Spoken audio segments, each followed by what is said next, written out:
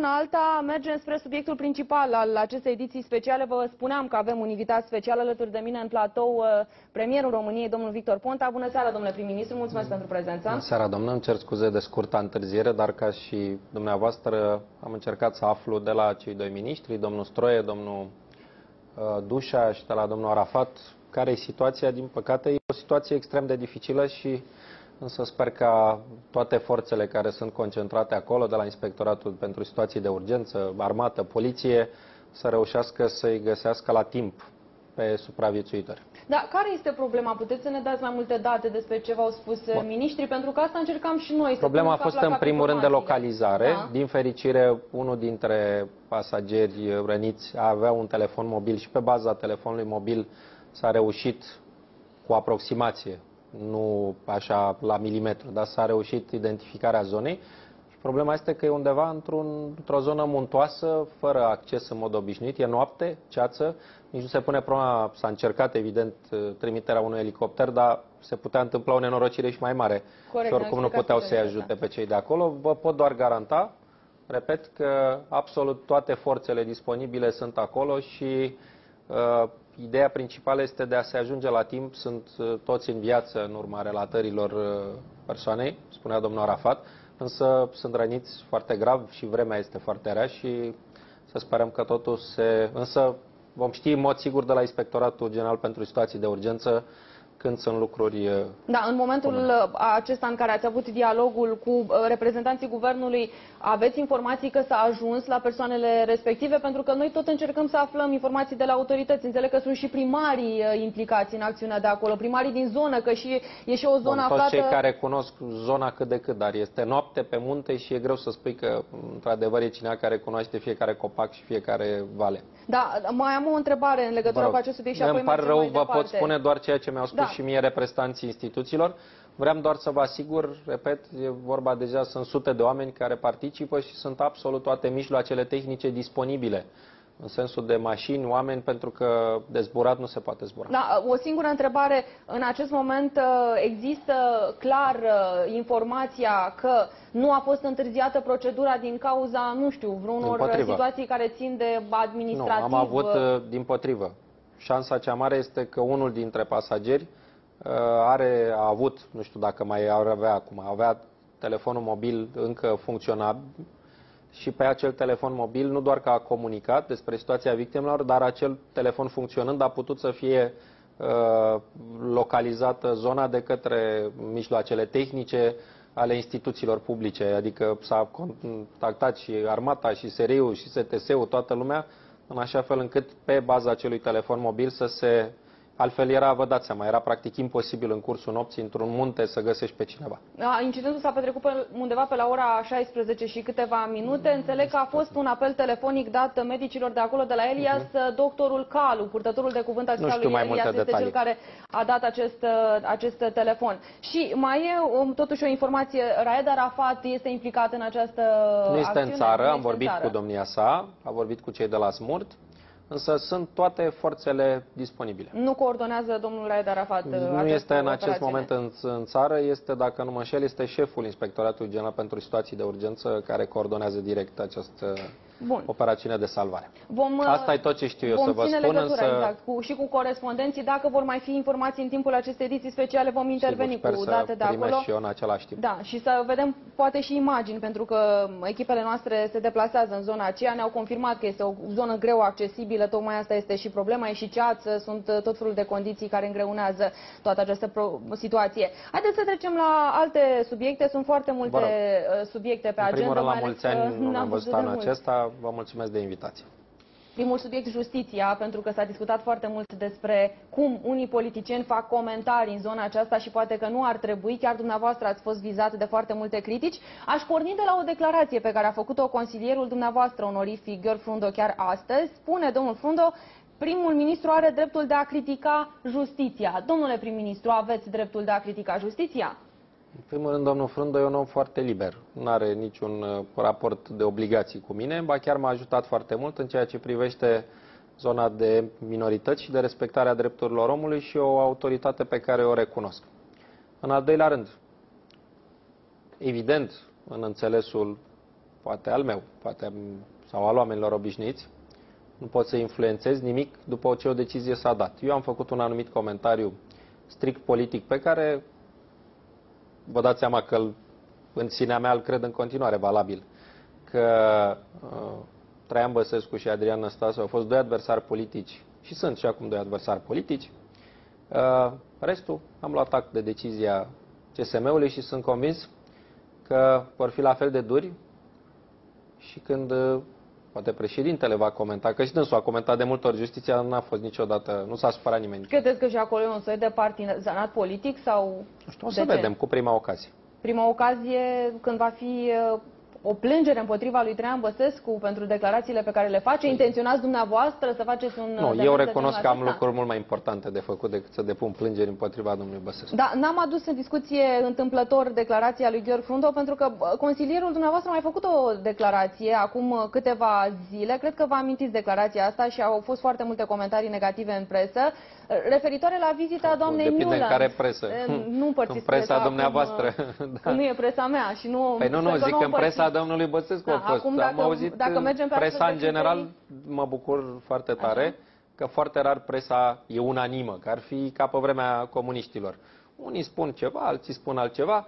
Cred că singura unanimitate pe care am văzut-o în ultima perioadă este legată de declarațiile unui coleg al dumneavoastră la adresa uh, cetățenilor moldoveni. Acolo am avut impresia că toată lumea a spus că așa ceva e inacceptabil. Vă parcă, și, parcă și dumneavoastră la... Dacă aveți un nu, am văzut niște declarații, n-am eu un mesaj, că nu are nevoie de mesajele mele. Am văzut că presa, cred că și dumneavoastră de la B1 l-ați criticat pentru faptul că nu poți să vorbești despre uh, cei din Moldova, că toți sunt, uh, nu știu, cerșetori, prostituate și așa mai departe. Mi se pare un lucru cu totul și cu totul inacceptabil. Și acolo parcă am văzut presa având o opinie comună. Convins că și domnul Turcescu l-a criticat și ceilalți. În rest, în general, presa are opinii de dreapta, de stânga, contra, pro. Da, revenind la da. declarațiile da. consilierului dumneavoastră. De ziceam că unii l-au criticat, alții l-au lăudat, nu știu cine ar dar putea declarațiile... să pe domnul Frundo în contextul acesta și chiar dacă îmi permite să dau citatul. Mi se pare puțin cu un aer de superioritate, ca și cum ar vorbi dirigintele cu elevii, arată o anumită superioritate a unchiului Sem. Nu e România o colonie și refuză această idee că vine să inspecteze în România nivelul sau stadiul drepturilor omului, stadiul statului de drept și democrație. Este reprezentativă și pentru cum gândiți dumneavoastră? În realitate, eu am obiceiul să gândesc cu mintea mea. M-a ajutat de multe ori în viață decât să pur și simplu să repet ce gândesc alții. În realitate s-a dovedit foarte clar că vizita altfel foarte bună a doamnei secretar de stat Newland pe probleme de colaborare, cooperare între România și Statele Unite Uh, chiar a fost o vizită absolut în regulă. După aceea, bătălia noastră politică, că a ieșit președintele, ne spune el de fapt.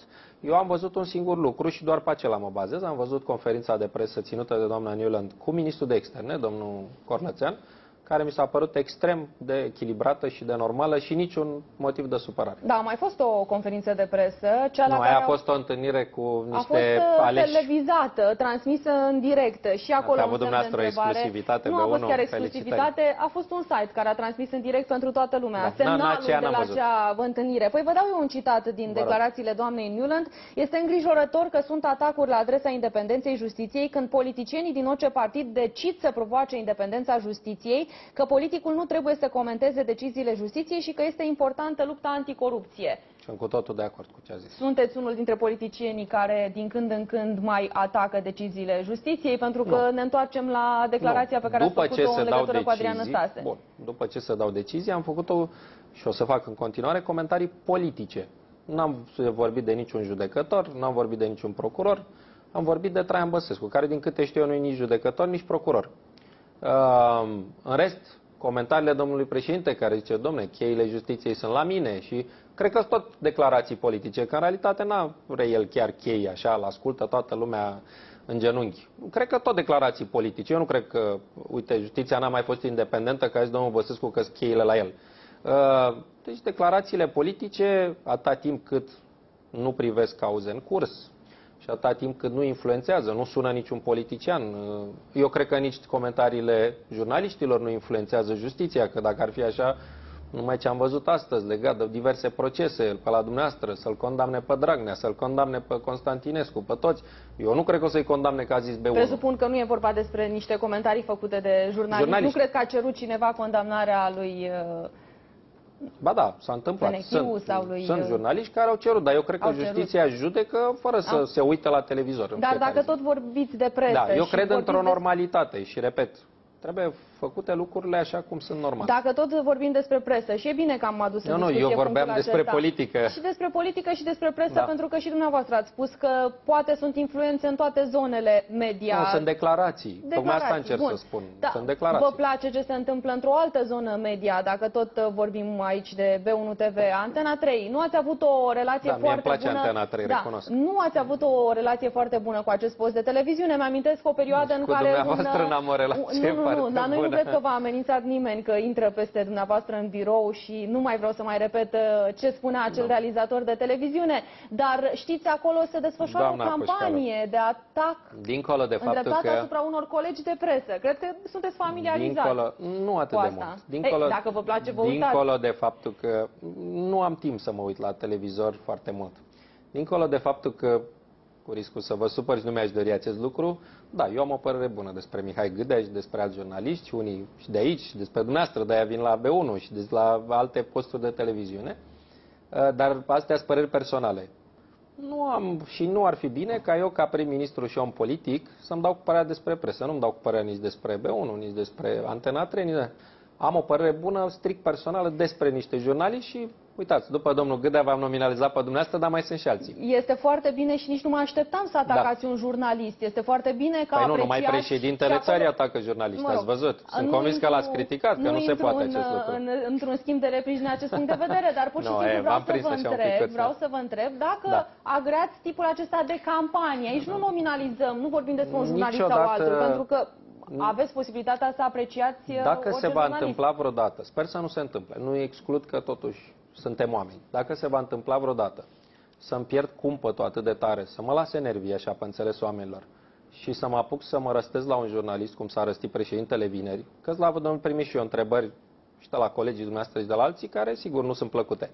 Evident că imediat mi-aș cere scuze, vă spun ce aș face eu ca un politic. În rest, ce fac jurnaliștii, asta deja e, uh, nu sunt eu cel pus să vă judec sau să-mi dau cu părerea. Da, credeți că sunt o răfuieli între jurnaliști? Nu, cred e că niciun sunt fel de răfuieli între- campanie comandată Cred sau că așa sunt ceva. răfuiel între oameni politici și jurnaliști și cred că din aceste răfuieli are de pierdut omul politic. Cum ar fi acum să nu-mi placă o întrebare a dumneavoastră să încep să zic de domnul Oancea sau mai știu eu de cine. Cred că ar fi o mare greșeală din partea mea și ar trebui să-mi cer scuze imediat. Probabil că și președintele când se întoarce din Israel să-și va cere scuze față de cei de la antenă. Bun, sperăm totuși Da. că uh, veți urmări Antena 3 și în seriile în care sunt aceste discuții care îi vizează pe unii Știți, dintre cu colegii urmăritul se noștri. ocupă altcineva, eu nu mă ocup cu urmăritul. Te- Televizor Nici măcar cu al- televiziune. al- Bun, și de- probabil că veți da. reveni uh, cu o declarație în contextul în care Nu, veți despre simți că presă- acele, acele lucruri nu sunt normale pentru o Despre țară presă pot să vă spun normală. un singur lucru care ține de activitatea mea. Am uh, văzut nu doar într-o parte a presei sau în partea cealaltă a presei, pro, contra sau ce este, am văzut chiar și în atitudine ale unor organizații europene că există un articol în nou cod penal, articolul 278, care ar putea afecta libertatea presei. Având în vedere că nou cod penal, am văzut azi o prostie, tot pe la dumneavoastră, am văzut-o că nu intră codul penal în vigoare, intră la 1 februarie, e în MCV, e important. Modificările, poate.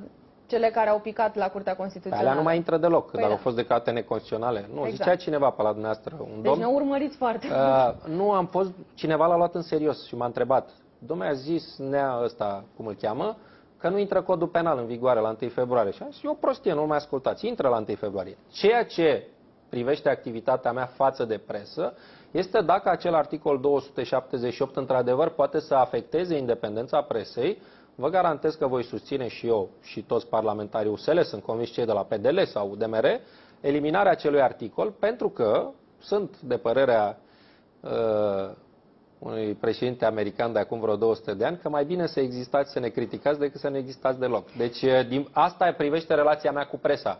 În rest, ce spune un jurnalist, la fel mi-am permis să spun un lucru care ține de lege, nu am nicio problemă de critică, de plăcere sau de neplăcere cu vreun jurnalist. Dar să spui pe un post că toți moldovenii sunt uh, cercetori sau prostituate e un lucru ilegal și mi se pare normal. În rest, cine are dreptate și cine nu are dreptate din presă, așa cum spunea și dumneavoastră, uh, nu e treaba omului politic să intervină în chestia asta. Da, rămân puțin la Da. subiectul acesta justiție și modul Știți în că o care... iubesc, pe, o apreciez atât de mult pe doamna Pora, sigur că aș, dacă ar zice cineva că e cercetoare sau prostituată, așa aș sprijini-o ferește, cu să- toată... să nu Doar să nu-i ajungem- zic aici la B1, domnule Să nu ferește. ajungem că- în zona aceea, Da. pentru că este unul dintre personajele Nu, nu, atacate am la făcut o cursul paralelă despre apropo care de- vorbeam, uh, apropo de un și anumit fără limbaj. motiv. Bun, haideți să, să introducem în discuție și un ingredient uh, politic, un personaj politic, pe domnul Crin Antonescu. În contextul acesta al discuției despre justiție, am observat că PNL-ul și chiar Crin Antonescu au schimbat puțin discursul și în contextul în care dumneavoastră vorbeați despre un posibil dosar politic, da, în cazul lui Adrian Năstase, Crin Antonescu spunea că, dincolo de orice bătălie propagandistică, independența justiției nu se realizează prin critici ale sentințelor judecătorești. Bun, aici evident există întotdeauna un grad de subiectivism. Când e vorba de Adrian Năstase, sigur că și noi de la PSD. Și domnul Antonescu anul trecut, când a criticat justiția pentru dosarul domnului Fenechiu sau al domnului Silaghi, a făcut-o chiar mai dur decât mine, era subiectiv, pentru că era vorba de doi colegi ai domniei sale. Ideea este că la un moment dat, eu sunt convins că de altfel nici declarațiile de anul trecut ale domnului Antonescu nu au influențat justiția și se va pronunța și pe domnul Fenechiu și pe domnul Silaghi. Eu nici măcar n-am comentat înainte, am comentat după ce s-a dat hotărârea definitivă și revocabilă și evident că nu putea să schimbe în vreun fel ce am spus eu. Evident că, evident că în măsura în care toți oamenii politici uh, respectă aceeași regulă, problema e că pentru domnul Băsescu n-a fost aceeași regulă ca pentru noi. Și doi, atâta timp cât lucrurile se păstrează în bătălia politică și nu intră în justiție, vă reamintesc faptul, dacă aș fi avut ocazia, l-aș fi reamintit și celor de la CSM. Nu doar că n-am pronunțat niciun nume de judecător sau procuror, nici măcar nu m-am referit la vreun judecător sau vreun procuror. M-am referit la Traian Băsescu și la Adrian Năstase, doi oameni politici. Cred că despre oameni politici am voie să vorbesc. Bun, Dumnezeu. dar spunând lucrurile astea, indicați faptul că există niște judecători care pot să Nu, fie asta e o influențați din speculație. punct de vedere politic. Știți, în- Păi asta spune CSM-ul, domnule prim-ministru. CSM-ul spune că prin astfel de declarații se afectează independența justiției și induc un sentiment de neîncredere. Sentimentul ăsta de neîncredere puteți să-l excludeți în momentul în Nu, care prim-ministrul ideea ne interface un următoarea, astfel de ideea comentariu? următoarea, mi-aș Vă rog. dori să fiu eu așa un guru al nației, încât 100% toți românii să se ia după părerile mele.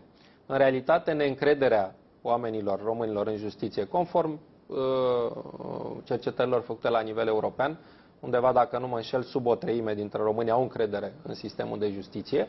Sigur, mai puțin au încredere în guvern, deci uh, nu pot eu să influențez. Cred că este o mare problemă a sistemului, așa cum este și a sistemului politic, este și a sistemului de justiție, de a fi mai credibil. Asta înseamnă însă nu doar lucrurile mediatizate, care sunt interesante pentru presa centrală și pentru noi oamenii politici la nivel central. Asta înseamnă, dacă vreți, fiecare activitate de zi cu zi. Cum arată, cum se poartă un judecător sau un procuror în instanță cu un om obișnuit. În cât timp se judecă procesele, pentru că un proces care se judecă în șase luni sau un an, sau unul care se judecă în 10 ani. În ce măsură dacă uh, ai bani de avocați câștigi procese, dacă n-ai bani le pierzi în ce măsură judecători, că sunt și aici chiar nu cred că se supără cineva, că spun, domne, din o, șapte mii de judecători și procurori, o fi unul sau doi care greșesc. În măsura ce și aceia plătesc. Că oamenii spun, domne, ok, eu când greșesc plătesc. Dacă greșește el, dacă sunt achitat, dacă câștig un proces după aceea la CEDO, trebuie să plătesc. E, astea sunt lucrurile care țin. Nu, v-am spus, mi-ar plăcea să cred așa că toți românii se iau numai după Sunteți ce spun totuși eu. prim-ministru. Mesajul dumneavoastră ajunge peste tot. Și Cu mă ajutorul refer, dumneavoastră. Cu ajutorul nostru Da, și vă în mulțumesc cancelari pentru asta. internaționale. Și știți foarte bine că nu sunt reacții dintre cele mai fericite în momentul în care sunt astfel de declarații. Se naște Haideți să- acest semn de întrebare că, domnule, Haideți să ne gândim- e statul de drept funcțional, e justiția independentă sau, din nou, politicienii fac jocuri. haideți să ne gândim totuși, cu tot respectul și toată dragostea pe care o am pentru toate cancelarile, haideți să ne gândim cum facem ca Ion Vasile dintr-o comună să zică, domne, când am o problemă chiar mă duc la judecător și mi-o rezolvă. Cum facem pentru oricine să zică, domne, când sunt bătut sau violat sau uh, furat, știu sigur că procurorul va prinde pe hoț. Astea, Astea sunt lucrurile, sigur și cazurile mediatizate, dar acelea sunt importante pentru noi și pentru cei care se uită la televizor. Știți foarte bine că până la urmă o minoritate se uită la televiziuni, toate la, la un loc, Antena 3, dumneavoastră, RTV și ceilalți. Uh, marea majoritate nu se uită la televizor. Marea majoritate are contact cu justiția sau cu sănătatea sau cu școala în mod direct. Când are el un proces, când are un copil la școală, când are o rudă sau el însuși care se duce la spital. Așa încât acolo se formează de fapt esența încrederii și a aprecierii pentru sănătate, pentru educație, pentru justiție, sisteme fundamentale cu care eu mă confrunt și e normal în funcția de prim-ministru zi de zi, apropo de necesități logistice, de modificări legislative, de probleme sindicale, de probleme de sistem. Acolo se formează și în tot acest timp, dincolo de ce a mai fost mediatizat așa pentru deliciu presei, puteți să, și poate o să aveți ocazia, să o întrebați și pe președinta în altei curți, și pe preș- fosta președintă a CSM-ului, actualul președinte al CSM-ului, pe procurorul general, pe șeful DNA-ului, Uh, și șeful DICOT-ului. Vorbesc de oamenii cu funcții, șeful ANI, da? Că astea sunt da. instituțiile, în alta curte, CSM, parchet, DICOT, uh, DNA, ANI. Puteți să întrebați dacă de când sunt prim-ministru, aproape 2 ani, a existat vreo problemă din partea guvernului de sprijin logistic, de sprijin legislativ, de sprijin de funcționare. Eu cred că o să vă răspundă toți. Nu întâmplător am făcut referire și la fostul șef al CSM și la actual. Și tocmai din acest punct de vedere, Uh, sunt absolut convins că și în raportul MCV, activitatea Ministerului Justiției și implicit a guvernului, că noi nu avem legătură cu justiția guvernul decât prin Ministerul Justiției, Ministerul Justiției da. o să vedeți că îi va fi apreciată. Bun, dar în contextul în care vorbim, cum credeți că influențează o declarație și un demers precum cel făcut acum câteva zile de domnul Nicușor Constantinescu? Presupun că sunteți familiarizat cu da, scandalul de la să, Constanța. să comentez cazuri păi, nu, nu, nu, nu comentați cazuri, pe rol. Dar puteți să comentați un comunicat de presă făcut public de Consiliul Județean Constanța, prin care se cere Parlamentul Parlamentului României o lege prin care să se desfințeze Direcția Națională Anticorupție? Pentru că dacă era un comunicat de presă Domnul, semnat de no, domnul Nicușor Constantinescu, nu aveam nicio problemă. Singurul lucru care mi s-ar părea într-adevăr probabil ar fi să facă cineva o cerere să desfințăm biserica. Că cu aia ne-am născut de 2000 de ani, nu... Restul, Știți câte propuneri primim? Să înființăm, să desfințăm Parlamentul. Dar de ce mai frumos desfințăm Parlamentul? Sau guvernul, Domnule, sau televiziunile. Nu e un sau... om de pe stradă. Este un om care și-a permis în numele unei instituții să trimită comunicatul. Repet, dacă era un comunicat dată, semnat Nicușor cred, Constantinescu, nu cred că era o problemă. Cred că, cred că lucrurile stau în felul următor. N-am voie să și chiar nu știu ce este în dosarul Contează domnului mai puțin, nu discutăm despre dosar. Contează altceva foarte mult, că știu foarte bine și știam despre afecțiunea gravă pe care o are domnia sa și despre faptul că trebuia să plece din țară. Și evident că mă bucur că până la urmă l-au lăsat pe om să plece din țară la tratament, că dacă murea aici nu cred că era o mare fericire. Uh, și trei, că trăim într-o țară democratică unde fiecare poate să spună părerea fără să-l omorâți la televizor. Uh, bună, Asta proastă. dacă, dacă Consiliul Județean Constanța este proprietatea domnului Nicușor Constantinescu. Nu, atenție, da, dar nu, e, dar nu e nici a mea sau a dumneavoastră. Păi nu, dar n-ar fi trebuit să fie o de decizie a Consiliului Județean Constanța, pentru că la ora la care a fost trimis comunicatul, tare mă tem că nu s-a întâlnit ședința să decidă să dizolve Parlamentul de Sincer, chiar nu le cunosc și, după cum știți foarte bine, Consiliile Județene nu sunt în niciun raport și, în general, primăriile Uh, și autoritățile locale nu sunt în subordinea guvernului și nu trebuie să-mi ceară mie voie pentru activitatea lor. Și în punctul acesta, da. PNL-ul s-a detașat de PSD. Sunt niște nuanțe care nu pot fi observate. Imediat a apărut o reacție din partea lui Crin observat dumneavoastră, înseamnă că nu au fost atât de subtili. Ei, iată, domnul Crin Antonescu înseamnă că n-a fost uh, extrem de subtil, chiar a vrut să indice faptul că e o strategie nouă a Partidului Național Liberal, pentru că a ieșit foarte repede cu o declarație și a spus că spere că și conducerea PSD dezavuează astfel păi de comportamente. s-a pronunțat domnul Liviu Dragnea, președintele executiv. Sunt convins că să aveți și declarația dânsului. Avem și declarația domnului Dragnea. Deci a Perfect. vorbit în numele Întotdeauna, întotdeauna când vorbește Liviu Dragnea, sigur că vorbește în numele partidului, că e președinte executiv, e numărul 2 ales de congres. Evitați totuși să-mi spuneți Nu dacă evit, se, uh, sesizați vreo sincer schimbare să de fiu- comportament a PNL-ului în raport cu aceste subiecte, pentru că vorbiți pe două voci. Nu. PNL-ul e acum tăcut, uh, apără statul de drept și Cred că și independența noi am fost mai justiției. tăcuți, repet, uh, când Călin Antonescu zicea de dosarele Fenechiu și Silag, e- e o chestiune și de subiectivism, pe bună dreptate, evident. E normal. Eu cred că până la urmă, uh, bun, fiecare, singurul am văzut la PDL cumva că se bucurau dacă se mai arestau între ei. Lucru pe care nu o să-l înțeleg niciodată. Era o fericire așa. Dom'le, știți, noi suntem corupți, ne arestăm între noi. Uh, în rest, E normal, există o solidaritate, cum cred că există și la dumneavoastră. V-ați solidarizat cu un jurnalist de la B1, e logic. Da, dar uh, în contextul tuturor lucrurilor pe care le-am discutat până acum, e foarte bine că ați precizat și dumneavoastră, așteptăm raportul MCV. Mai sunt Am uh, făcut o anumită două precizare zile, legată miercuri va fi de, Publicat. legată de faptul că dincolo de vorbe Da. și de dezbateri care sunt interesante, dar ne interesează pe noi, pe oameni nu prea interesează, ca să, probabil că știți cum e cu audiențele. Uh, ceea ce rămâne, și de aceea v-am dat niște nume de oameni care nu cred că îi puteți bănui că sunt prietenii mei neapărat, sunt oameni care mă cunosc, și care ne respectăm și atât, dar care conduc toate instituțiile, m, să zic, menționate în MCV, în altă curte, CSM, ANI, Parchet, DNA, DICOT. Puteți să întrebați și oficial dacă de când există acest guvern, vorbesc din, chiar din mai, două, iată, se fac doi ani, Dumnezeule, mai 2012, dacă în ceea ce privește logistic, legislativ uh, și tot ce trebuie să facă guvernul prin Ministerul Justiției sau, sigur, finanțe, dacă a existat vreo sincopă de colaborare. Dar raportul MCV din informațiile pe care le aveți, cum va arăta? Pentru că pe surse se vorbește despre un raport destul O să de vă prost spun un în lucru. România. Surse. Eu, eu știu cum arată, normal. Păi da, pentru că, nu vă întrebam întâmplător. pentru Eu că, nu știu. evident, Comisia Europeană a procedat în sfârșit, a fost o perioadă mai ciudată, dar acum a procedat normal și corect și le-am mulțumit pentru asta, în sensul că au trimis către Ministerul Justiției cu caracter confidențial Da. o primă formă, s-au făcut observații, se va discuta.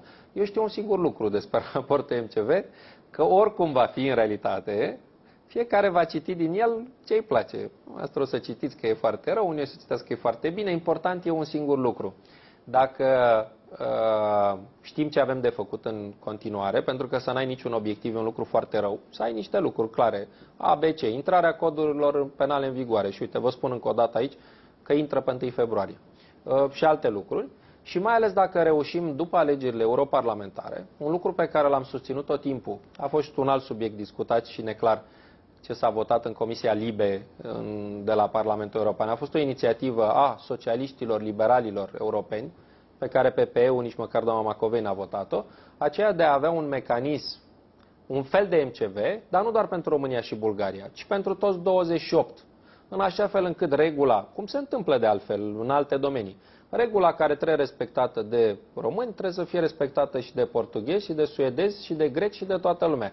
Ideea că ai un MCV numai pentru România și Bulgaria, iată o țară care a intrat după noi Croația și despre care eu nu mă pot pronunța, dar am văzut că sunt destule lucruri care țin de funcționarea justiției, poate, și acolo e vorba de lucruri mai grave de uh, perioada războiului civil. Uh, e, toată lumea când are acelea standarde, cum avem la mediu sau cum avem la drumuri sau cum avem la uh, atâtea alte lucruri. Deci noi am susținut acest lucru și cred că e un lucru foarte bun. L-au și votat parlamentarii noștri în Comisia Libe. PPU a votat împotrivă sau s-a abținut. Doamna Macovei s-a abținut, dar n-a votat pentru. Că în România a ajuns că de fapt e o chestie împotriva României, de, eram nebun să o votăm din potrivă, e pentru România. Deci eu îmi doresc ca noua Comisie și nou Parlament European să considere un lucru altfel normal, că nu suntem 26 plus 2, ci suntem 28 care trebuie să e respectăm perfect același adevărat, reguli. dar până una alta lucrăm pe regulile de acum. Da, da, nu mai e e normal foarte că puțin. se face legătură între aderarea la spațiul Schengen și raportul MCV, pentru că nu, Nu, scrie nimeni- nicăieri că ar fi corect lucrul ăsta. Comisia da? Europeană, din punctul ăsta de vedere, a fost extrem de corectă și de fiecare dată și domnul Barroso și președintele Consiliului, domnul Ba- Van Rompuy și toți au spus foarte clar că nu există nicio legătură. Da, dar se face această legătură și știți foarte bine că Olanda, Germania, chiar astăzi a fost o declarație din uh, zona Germaniei, cum că se așteaptă cu foarte mare interes raportul MCV. Și atunci vă Hai, întreb hai să, să spunem bye-bye uh, aderare la Schengen până la finalul anului, pentru până că se termină anul electoral, un, uh, până se termină. Aici mă bucur, în sfârșit poate înțelegem că cea mai mare prostie pe care putem să o facem, și am făcut-o de destule ori, și unii încă o mai fac tot felul de indivizi, este să ne dăm cu Schengen un cap unui la alții. Singura șansă ca România să intre în Schengen este să spunem, domnule, ok, noi în România ne luptăm, Băsescu cu Ponta, PDL cu USL, dar când e vorba de Schengen și de România, suntem toți uniți că merităm. Până la urmă, tehnic au lucrat și uh, Rus, și Blaga, și uh, Stroie, toți ministrii de interne sau ministrii de justiție, și Predoiu, și Cazanciuc, și toți ceilalți. Aici, deci aici am văzut o schimbare de poziție, că a fost și domnul Băsescu și a zis, domnule, să intrăm în Schengen. Părerea mea este că până la alegerile pentru Parlamentul European, nu, nu o să intrăm, că e o temă. Ați văzut în Marea Britanie ce mare temă a fost cum vin românii. Până la urmă s-a făsit, n-a mai venit nimeni. Da. Uh, la Parlamentul European, ce teme credeți că vor avea uh, prin unele țări? Să nu vină de parcă fără Schengen nu sunt oricum România acolo. Sunt. Cel mai important lucru, și aici e meritul și al României și al Comisiei Europene, este faptul că s-au ridicat toate restricțiile la piața muncii. E adevărat, arăt uh, buletinul când merg la aeroport, mi se pare, mi se pare total inutil. Dar, dar faptul că românii se pot angaja și nu mai sunt discriminați și în Marea Britanie și în Germania și în Olanda, e cel mai important lucru și să nu pierdem totuși o mare realizare a noastră. Trebuie să luăm o scurtă pauză de vorbesc. publicitate. După pauza de publicitate vreau să vorbim și despre modificările la codul penal și legea descentralizării. Ambele știți că n-au trecut de Curtea Constituțională și a fost acolo da. 9 la 0. Nu știu cum ați primit mi se pare că a fost cam o lovitură și vreau să vă întreb cel puțin în uh, contextul legii descentralizării cine de să fie vinovat. Păi nu, discutăm după pauză păi de nu, știu nici eu, dacă nu aveți motivarea... motivarea dar 9 la 0 mi se pare păi poate cam dreptate, mult. L-ați avut acolo și pe domnul Greblă, care tocmai da, da, nu trebuie din să, Parlament. Nu trebuie nimeni să voteze doar că e domnul Greblă sau atâta timp cât nu știm ce au zis, mi-e greu să speculez. Poate știți dumneavoastră ne de ce. Ne după scurta pauză de da. publicitate. Ediție specială Bună seara România. În continuare în platou alături de noi prim-ministrul României, domnul Victor Ponta. Domnule premier, modificările la codul penal au picat la Curtea Constituțională, 9 la 0. Legea descentralizării de asemenea. La legea descentralizării cred că povestea e și mai complicată pentru că v-ați angajat răspunderea pe acest uh, proiect de lege. Da vreun vinovat, trageți pe cineva la răspundere, pentru că mm, dumneavoastră puteți să infirmați și cred că veți face lucrul acesta. Se auză despre niște presiuni în Partidul Social Democrat venite chiar de la nivel local, să îi spuneți lui Liviu Dragnea că poate că a greșit din moment ce legea asta a aplicat. Cred legea că evenimentul zilei făcea presiuni și nu, din câte știu eu, nu, ei nu sunt în PSD. Deci eu, infirmați, eu, nu, nu există asta Dacă vreți să vă mint și să vă spun că a zis cineva, vă mint. Dar nu pot. Eu știu că a făcut evenimentul zilei, sper că nu sunt membrii PSD. Deci nu, altcineva eu nu cunosc. Nu v-a supărat deloc uh, faptul că păi această nu, lege să înțelegem, nu a trecut de Curtea Constituțională? În primul rând nu știu ce a decis Curtea. Curtea trebuie să dea uh, motivarea și în mod sigur să ne și spună, domnule, nu e bine așa, e bine invers. Pentru că ideea că e neconstituțional să descentralizezi, eu nu cred că cineva poate spune, dar mai ales că, după câte știți, guvernul Boc și bine a făcut.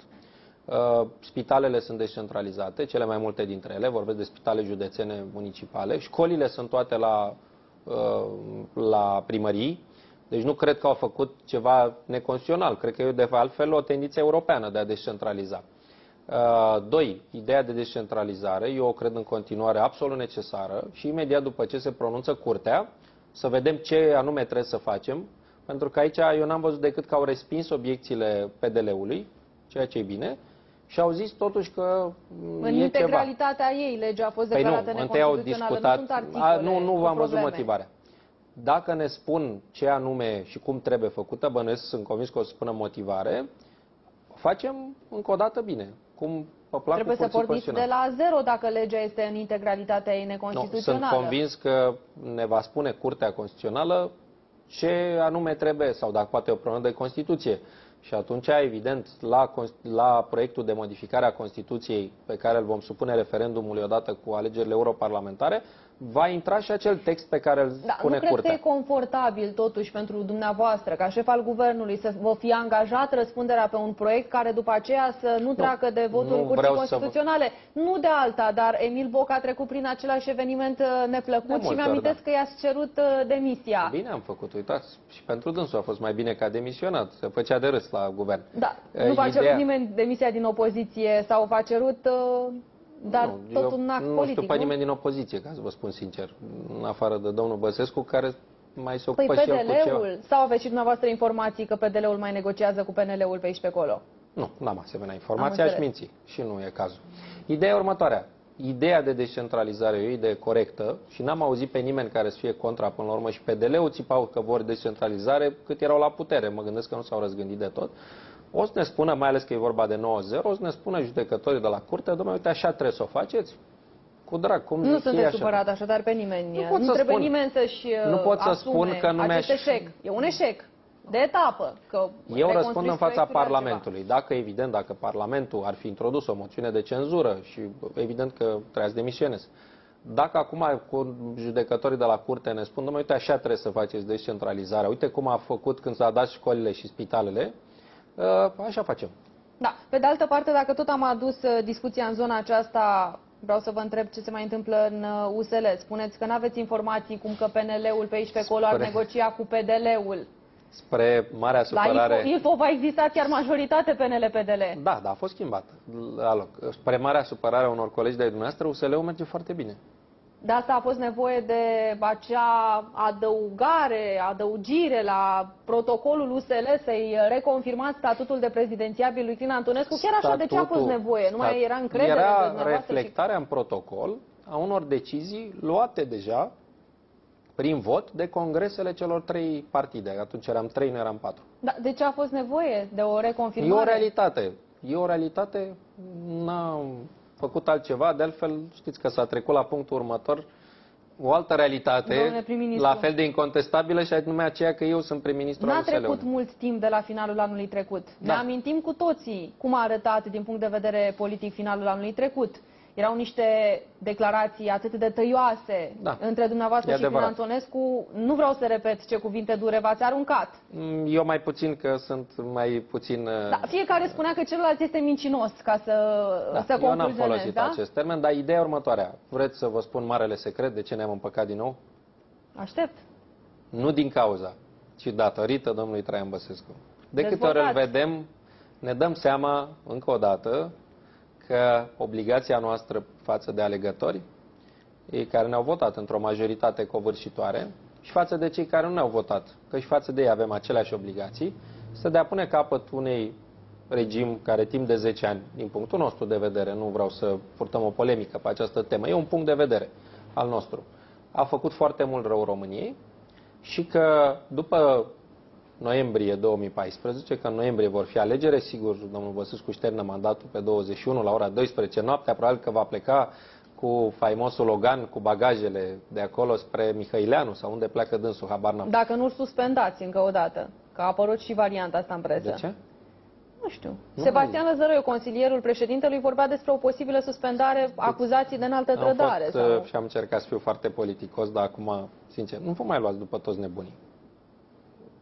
Dacă Nu vă fac că, luați n-ați acum auzit, că orice- n-am auzit ce ați spus. E Nu, un dar nu atac e foarte o dur. jignire, e Păi- mai degrabă un diagnostic. Nu sunteți psihiatru, cred. Nu, dar am vorbit cu psihiatrii despre personajul respectiv. Nu, una pe Da, alta. ideea e următoarea. De ce să-l suspendăm? Păi nu știu. Păi nici eu Poate nu știu. va fi vreo strategie politică. La un Pe moment care dat... noi nu o știm. Păi nu știu, Haideți, o să, știți sau haideți nu să știți? folosim, eu unul sigur nu. nu. Haideți să folosim timpul pentru lucruri serioase, că e păcat să le Revenind la pierdem. relația Da. totuși din USL, în continuare spuneți că dușmanul numărul unu este Traian Băsescu și Singurul, vorbeați chiar despre regimul uh, Traian Băsescu. Și vreau Evident să vă că nu e întreb, vorba de o singură persoană, e vorba Da. de un anumit mod de a conduce o țară. ce mai înseamnă regimul uh, Traian Băsescu după aproape 2 ani de guvernare USL în care, cred că toată lumea știe, aveți guvern, aveți majoritate parlamentară consistentă, aveți la nivel local tot ce înseamnă Așa. de la prefecți, ce să mai spun, președinți de consilii județene, Așa. la nivel de justiție, procurorii, cei care conduc până la urmă, din acest punct de vedere, instituțiile principale din zona justiției, sunt uh, nominalizați după un, uh, o discuție, un acord între dumneavoastră și președinte. Aveți ministrul sper că, justiției, sper că nu, aveți Sper că nu sugerați că USL-ul stăpânește justiția, că N-am sugerat cred asta. că vă condamnă CSM-ul de pe scaun, ca să zic asta, așa. Dar încercam să evit unele contraargumente din punctul ăsta de vedere, că e justiția în mâinile Lucrurile din punctul nostru... Ce mai înseamnă regimul Băsescu acum? Înseamnă un regim a cărui notă de plată o vom plăti cu toții și sigur aș putea să vorbesc și în cursul emisiunii noastre și a domnului Turcescu și a domnului Banciu despre nota de plată legată de proiecte economice eșuate, de oameni care și-au pierdut locuri de muncă, de oameni care au, uh, uh, și-au pierdut case sau pur și simplu și-au distrus viața, uh, de uh, pensionari cu pensii tăiate, de medici și așa mai departe. Noi începem să recuperăm niște lucruri importante care țin de echilibru social și de repararea unor uh, pensii, salarii, toate cea, lucruri care țin de economie. Avem o creștere economică constantă. Mai s-a întâmplat un lucru, dacă nu-l spun eu, sigur nu o să-l spună nimeni, cel puțin nu la dumneavoastră. Am primit cifrele pe primele 11 luni și știu că auzeam mereu uh, că s-au, s-au prăbușit investițiile străine. Vreau să vă spun că acum am cifrele oficiale. Pe primele 11 luni au crescut investițiile străine Uh, față de 2012, când erau mai mari, la 2,4 miliarde de euro.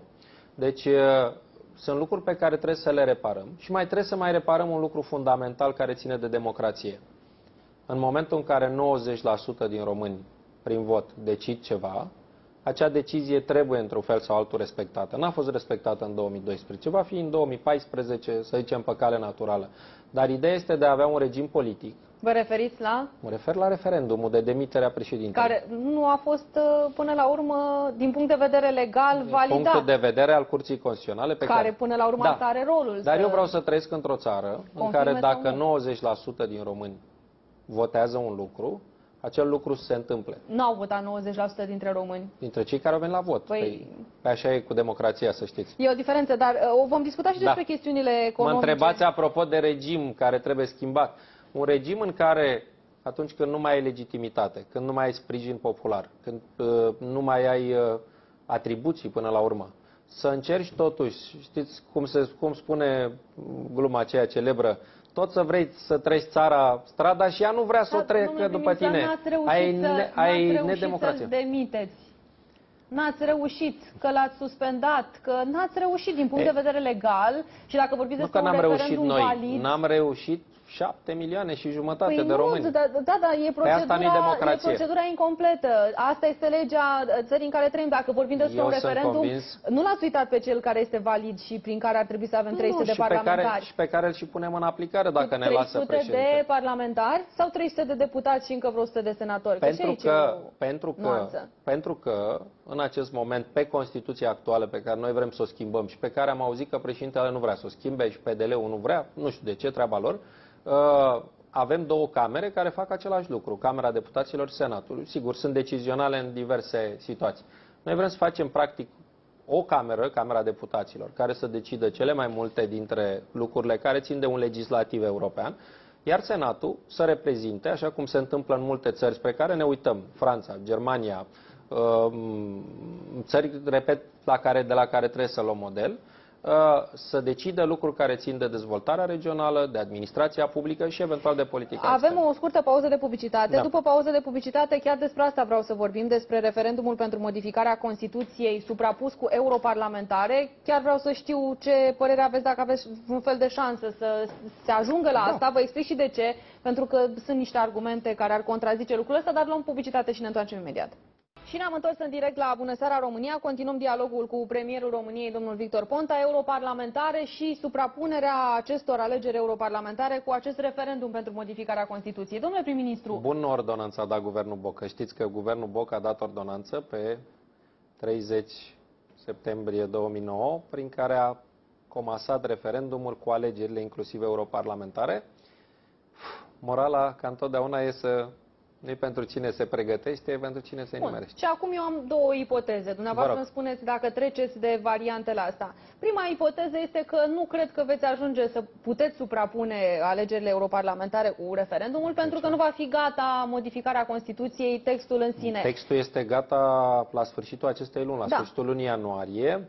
Uh, Ministerul de Externe, că așa funcționează procedura, îl va traduce în engleză, franceză și îl trimitem la Comisia de la Veneția, în baza discuției informale uh, pe care am avut-o acolo. Dacă trimitem la începutul lunii februarie, Comisia are sesiunea plenară la sfârșitul lui martie, deci după șapte săptămâni. Mai ales că nu e un text nou. Ei l-au văzut deja anul trecut, au făcut uh, și au, au avut niște opinii. Uh, Deci putem să avem până la sfârșitul lunii martie opinia o- Comisiei de la Veneția. Se întoarce proiectul, Comisia Da. de Specialitate din Parlament trebuie să ia în calcul observațiile de acolo. Dacă vor fi. Între timp merge și la Curtea Vor Constituțională fi- a României. Merge și la Curtea Constituțională, e nevoie și deci, de Da. decizia Curții, apoi trebuie să treacă prin Parlament și apoi poate fi din nou contestată la Curtea Constituțională. Chiar Haideți credeți să- că vă încadrați în calendar? Da, eu cred că da. Sau este o strategie și aceasta? nu e- nu e o Ați aruncat strategie. uh, ideea Eu cred pentru că da. liniștirea celor de la PNL? Nu, nu, nici vorbă și nu cred că s-au liniștit sau s-au neliniștit din cauza asta. Par mai liniștiți în Cred ultima că perioadă, este, pentru că avem un obiectiv foarte clar. Și acel obiectiv este de a vorbi despre cum vrem noi să arate România după noiembrie, după ce pleacă Traian Băsescu. Nu doar cu un alt președinte, ci și cu un alt sistem politic pe care românii îl vor schimbat. Apropo de raporturile între președinte, guvern, parlament, apropo de numărul de uh, parlamentari, apropo de regiuni, apropo de uh, acel... uh, Președinte cu atribuții reduse. dacă puteți să-mi spuneți dumneavoastră că eu întâmplător știu textul și am, Așa. am discutat cu mulți jurnaliști, unii Așa. sunt informați, alții neinformați. Cu la ce vă referiți când spuneți că reducem puterea președintelui? Păi, tocmai a fost o discuție și cred că ați observat uh, și Adică un dumneavoastră. caz concret. Păi, numirea premierului. Ha, stați un pic. Aici mă bucur că ați ridicat acest Așa, subiect. vă rog. Să fie foarte clar, am discutat și cu oameni care și în 91 și în 2003, când s-a făcut textul constituțional, că pre- președintele face o propunere pentru funcția de prim-ministru, nu s-a gândit nimeni atunci că va veni un președinte care va interpreta că poate să-și pună șoferul prim-ministru sau poate să-l pună pe Ionel de la brutărie sau poate să pună, nu știu, pe un jurnalist care e lui drag. Toată lumea a înțeles, și așa s-a și întâmplat de altfel, că așa cum se întâmplă în toată Europa, evident că pui prim-ministru persoana care are sprijinul în Parlament. Majorității. E, domnul Băsescu a interpretat într-un mod abuziv uh, un text care altfel pentru orice om de bun simț și cu cultură democratică era foarte clar. Nu pui pe cine vrei tu prim-ministru. Vă reamintesc că am avut situația cu lui Claus Iohannis, care avea majoritate parlamentară și n-a vrut domnul Băsescu să-l pună prim-ministru. Crin Antonescu și eu, și cred că toți oamenii normal la cap, s-ar putea să o facă și candidatul și PDL-ul și domnul Predoiu. Am spus de multe ori și credem în chestia asta, că democratic este dacă tot mergem și votăm la Parlament, dumneavoastră, eu, și votăm 60% sau 30% sau 40% pentru un anumit partid. Eu nu pot să spun ca președinte, nu, pe mine nu mă interesează ce votați voi. Voi sunteți toți niște proști, numai eu sunt deștept, eu pun pe cine vreau prim-ministru. da, domnule deci prim-ministru. noi nu schimbăm nimic, stați să vă termin raționamentul ca să-l înțelegeți. Noi nu schimbăm nimic în Constituție. Noi facem o precizare care să îndrepte pe viitor orice posibil abuz din partea unui nou președinte nedemocratic, cum e Traian Băsescu. Veți spune acolo că premierul este dat de partidul Nu. care are cele mai multe Nu. voturi Nu, în n-aș vrea Parlament, să vă majoritate. plictisesc prea mult cu lucruri nu, dar e juridice, foarte bine dar vreau să vă de- de explic. explicat. Nu, premierul nu e dat. Ce se întâmplă și e prevăzut în Constituțiile multor țări europene? Există o procedură și anume, care este partidul care are cel mai mare număr de parlamentari? X. Domnul Ponta de la partidul X. Ai, cum am primit și eu de altfel, mandatul de a încerca să formez guvern. Exact. În 10 zile, toți ceilalți, s-a întâmplat lucrul ăsta uh, în, uh, în Italia, de exemplu. A primit mandatul de la prim, uh, câș- liderul partidului care a fost pe primul loc și n-a putut să facă majoritate. În 10 zile îl dai înapoi, primește al doilea. Nu poate nici al doilea, atunci sigur se formează o coaliție. Ideea este de a respecta și de a nu-ți mai bate joc de ceea ce votează oamenii cu câteva zile mai devreme. Că dacă tu le spui voi votați ce vreți, uh, că eu pun pe cine vreau, în realitate nici nu s-a întâmplat așa. Haideți, hai- haideți totuși că memoria ne ajută. înainte de, cât a fost, 9 decembrie 2012, cred că domnul Băsescu a zis de vreo 100 de ori pe la dumneavoastră pe aici, pe la B1 și pe unde s-a mai dus, poate să câștige USL-ul cât vrea, că eu tot nu-l pun pe Ponta. Evident că m-a pus. Că nu avea ce să facă. Ați semnat și un pact de coabitare mai apoi, care, apropo, Nu. mai funcționează? Eu îl respect. Domnul Băsescu nu îl respectă, pentru că blochează de fiecare dată activitatea guvernului. Uitați-vă ce se întâmplă cu chestia cu femeiul. El nu-i de acord ce negociem cu femeiul. Bine, domnule, ia și negociază tot. Povestea Da. cu acciza cred că e liniștitoare pentru fiecare român care plătește mai puțin la pompă, pentru că nu e acciza aceea Atenție, suplimentară. dacă vreți să fim populiști, toți putem să fim populiști. Eu aș vrea, de exemplu, să plătim toți taxe zero. Credeți însă că, dincolo de populism, putem să spunem de unde dăm banii pentru școli, pentru spitale, pentru autostrăzi, pentru poliție, pentru cei care acum la ora asta se chinuie să-i salveze pe oamenii din... Adică ai luxul de a fi un populist atunci când de fapt te doare în cot de România. Și acest lux îl are domnul Băsescu acum în ultimele luni. Uh, repet, dacă puteți să mai îmi spuneți din Constituție, eu nu-mi pierd speranța că la un moment dat rațiunea va învinge. Ce putere am tăiat președintelui? Că despre asta cred că ne-am lămurit, nu am tăiat nicio putere. Pur și simplu am făcut o precizare pe care orice om normal, democratic, o respectă oricum. Da, domnule prim-ministru, dar pentru a ajunge la Constituția aceea Da. votată, trebuie să scoateți la vot peste 9 milioane de oameni. Nu, peste 9 milioane de oameni trebuie să voteze pentru uh, Constituția Acum, dacă vreți, e și o în mică forma pe care strategie. o doriți. Am auzit un lider politic, altfel tânăr de viitor, domnul Ungureanu, care a zis că va, va cere alegătorilor săi, e adevărat, nu sunt mulți, sunt puțini, uh, să boicoteze. Dom'le, eu îl îndemn să boicoteze. Că înseamnă că va lua și zero voturi la europarlamentare, nu mi-e mie frică de vot. Eu știu că dânsul trebuie să o scoată pe Păi doamna... de ce? Că poți să mergi la vot să votezi pentru europarlamentare și să nu votezi pentru referendum. Referendumul va fi oricum uh, pe Sigur. două zile, din câte, nu? Nu știu, nu s-a decis lucrul ăsta, Da, o să asta discutăm e cu toate discuția până la grupurile. urmă. Eu cred că domnul Ungureanu, care trebuie să o scoată pe doamna Elena Băsescu, europarlamentar, nu va mai boicota, dă și el din gură aici pe la televizor, după care va zice, bă, haideți la Aveți vot. vreo informație cum că Elena Băsescu ar candida pe listele celor de la Forța Civică? Nu, am o informație în sensul în care domnul Ungureanu trebuie să o scoată pe doamna Băsescu europarlamentar ca să fie și Păi, Asta el susținut spuneți. după aia. Asta spuneți. Da, e o informație politică pe care o dețin, da. Da, urmează să, să vedem dacă se împlinește lucrul acesta. De obicei ce am zis eu s-a împlinit. Da, nu știu. Sigur, Nu, o n-am, să veri- vedem. n-am verificat de Dar fiecare ne întoarcem dată. la referendum. Ne întoarcem la Dacă referendum. va mai fi și vreun altul tot la fel de deștept care să zică, domne, să boicotăm, e în regulă. Câți alegători au? 100, 1000, 5000 câți au? Să stea acasă. Da. Probabil că nu se vor face 9 milioane, dar atunci, sigur, vom avea un rezultat foarte bun la europarlamentare noi cei de la USL. Eu mă gândesc însă că se vor gândi a doua oară și vor înțelege că să fii contra Constituției fără să explici de ce ești contra că n-am auzit pe nimeni de la PDL sau de la uh, sateliții săi spunând, domnule, ce e rău la Constituția asta? Nici măcar domnul Băsescu nu poate spune ce e rău, mai ales că nu îi se mai aplică lui.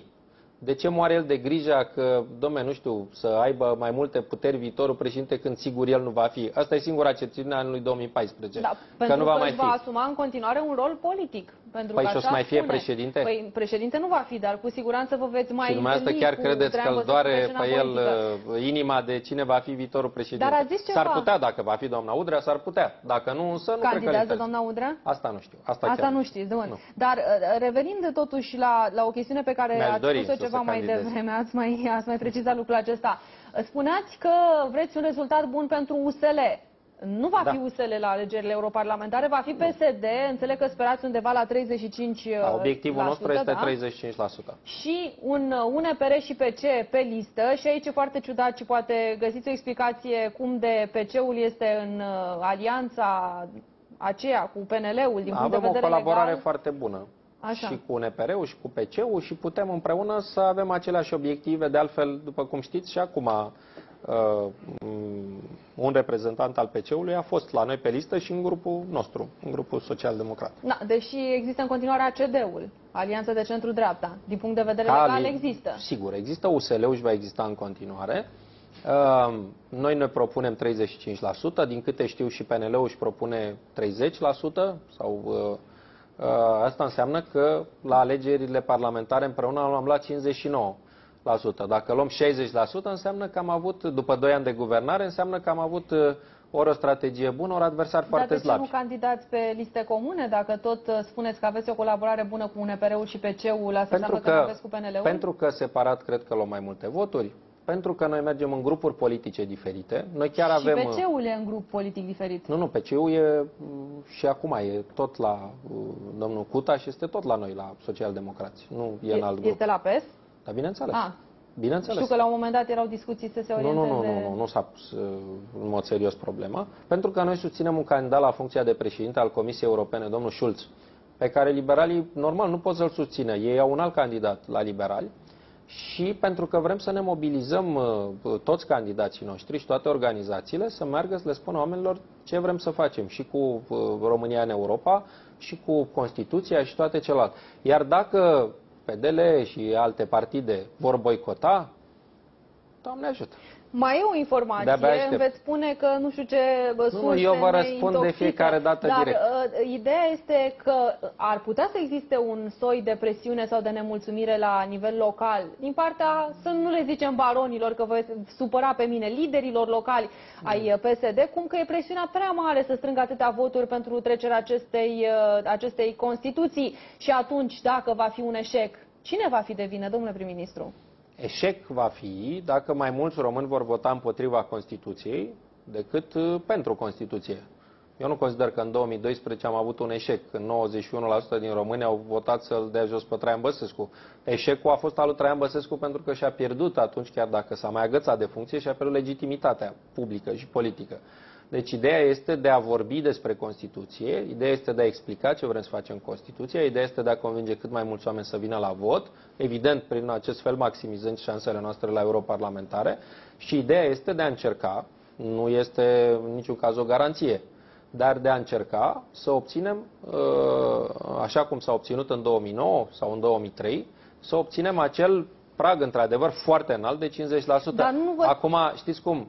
Am ajuns în situația asta pentru că președintele Băsescu, cu un mic sprijin, nu mai zic de la cine, ca să nu se supere, a avut o șmecherie și deși legea cu 30% a fost declarată constituțională în mai, a mai ținut-o de șapte ori până, în, până la O sfârșitul mică decembrie. șmecherie susținută de cine? De Curtea Constituțională? Nu, Doamne ferește, nu.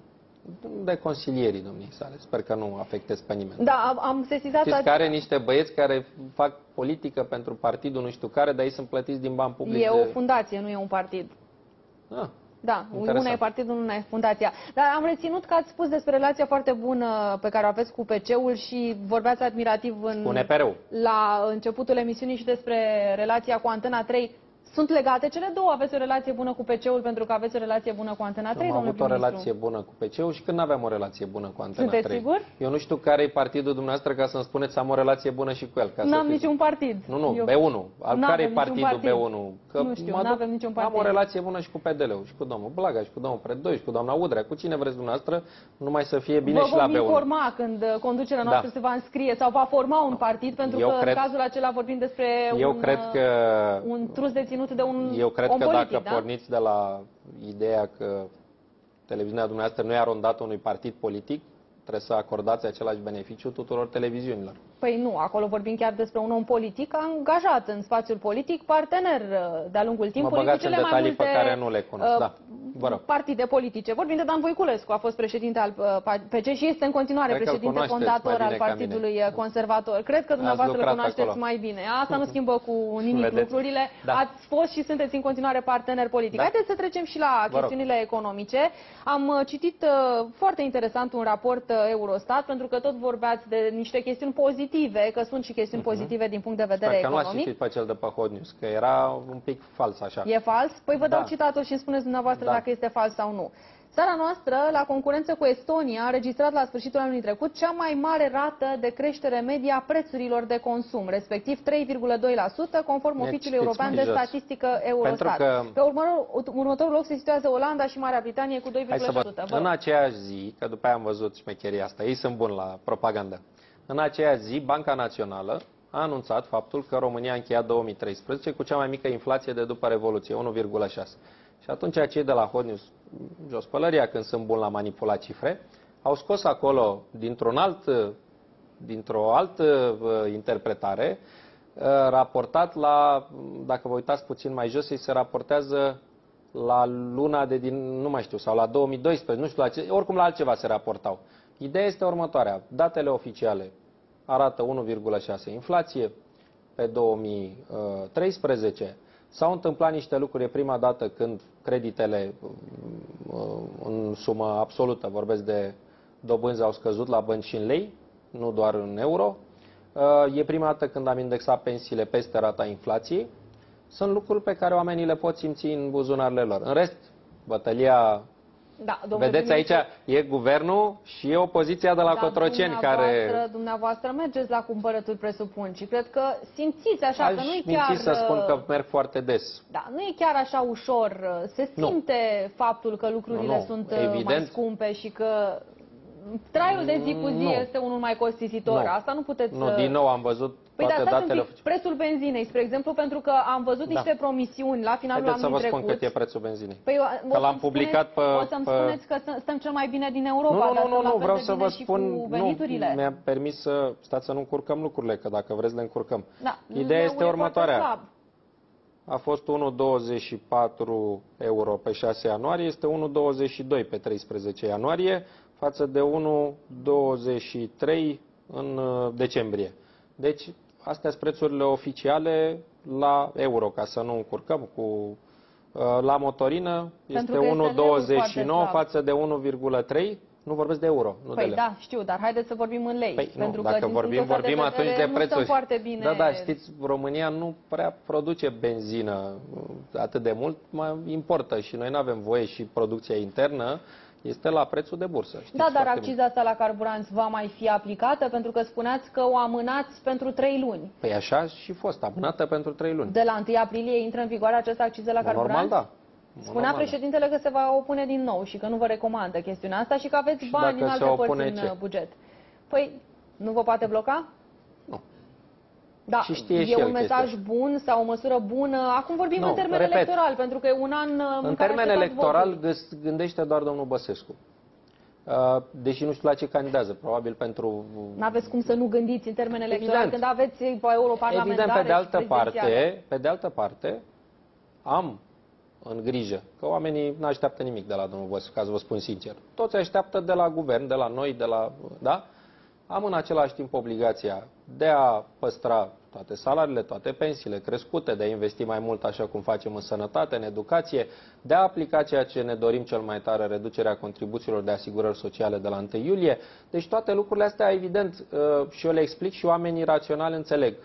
Uh, Că fiecare se- se gândește la el acasă. Dom'le, dacă vreau să cheltui mai mult pe uh, roșii și pe uh, fructe, tai mai mult, uh, tai dintr-o parte sau muncesc mai mult. Sau n nu există că guvernul nu face bani, îi printează în spatele uh, Palatului Victoria.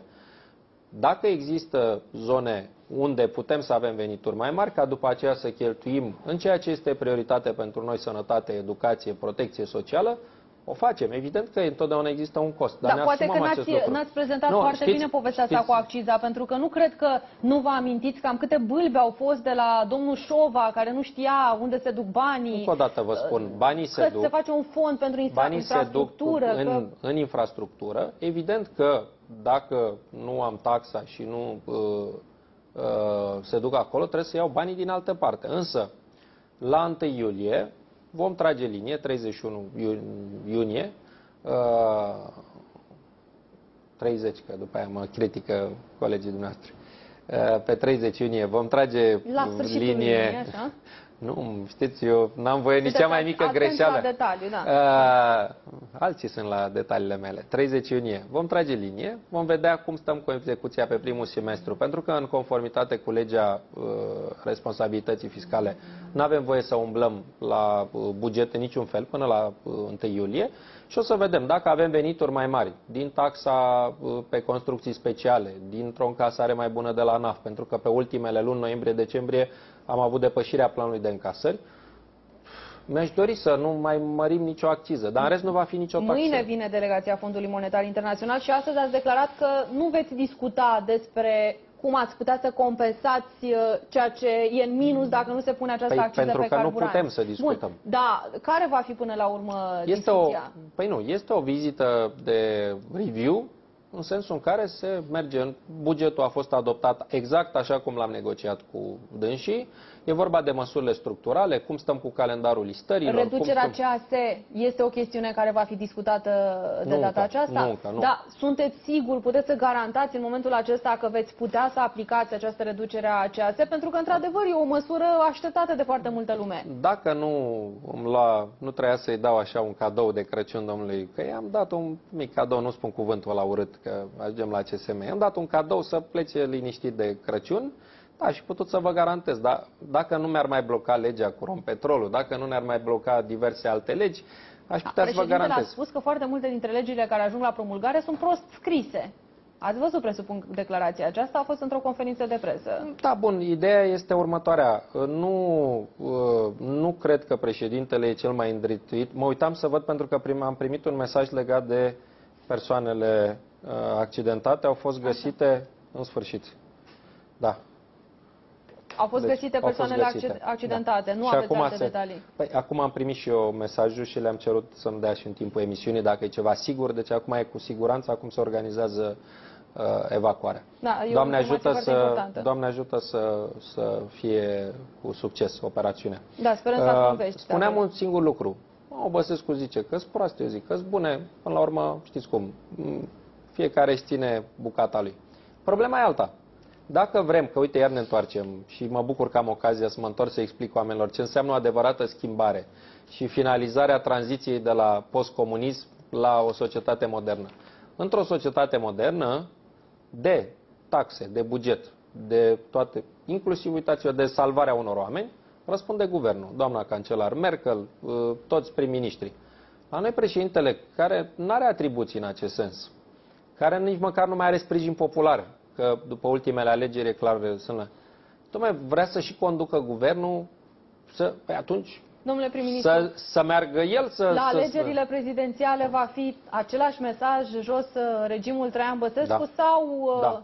Nu, deci nu avem șansa să scăpăm de chestiunea aceasta, da. măcar să Pe construiți 9 un mesaj... pe 9 nu, nu, noiembrie nu, să veniți vă la vot și auzim- scăpăm. Să vă auzim vorbind despre altceva, să vă auzim nu pe dumneavoastră eu am neapărat, încercat, ci pe candidații USL eu tocmai v-am sau PSD vorbit sau... și încerc să vorbesc despre, Pentru că devine o obsesie. despre ce înseamnă ar trebui să faceți o analiză la B1 cât vorbiți dumneavoastră despre domnul Băsescu, că s-ar putea să fie să aveți constatări neplăcute.